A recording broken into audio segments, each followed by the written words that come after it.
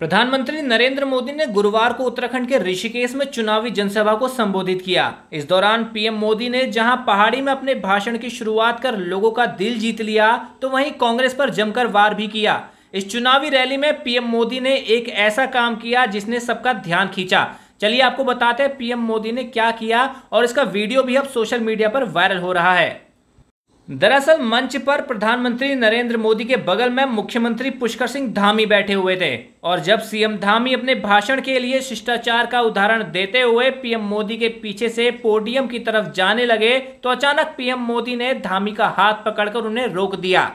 इसके बाद पीएम मोदी ने मुख्यमंत्री धामी को अपने सामने से पोडियम की तरफ़ जाने के लिए इशारा किया, जिसके बाद धामी पीएम मोदी के सामने से ही पोडियम की तरफ़ गए और फिर अपने भाषण को शुरू किया।